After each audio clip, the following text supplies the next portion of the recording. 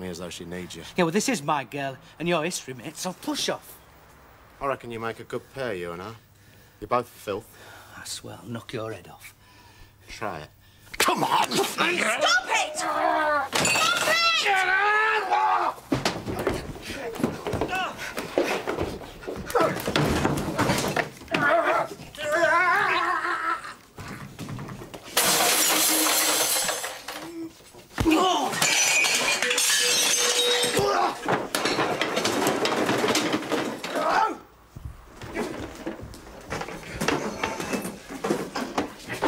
Yes, stop it!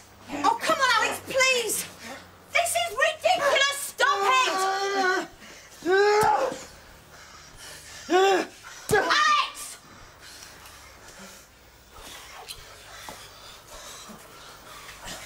Oh, for God's sake!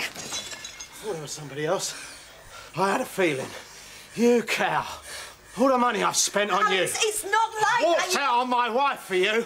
I was going to give up my kids for you if I had to.